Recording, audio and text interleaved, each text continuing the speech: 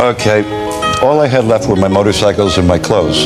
So I put my best shit on and went out to have a nice meal in a good place by myself because when you know when you're down and out you can't even get a date. So i'm sitting there having a bowl of spaghetti i could barely pay for and i'm eating it we stayed in the gym so i was looking pretty good and i look up i felt somebody standing over me and stallone is standing there.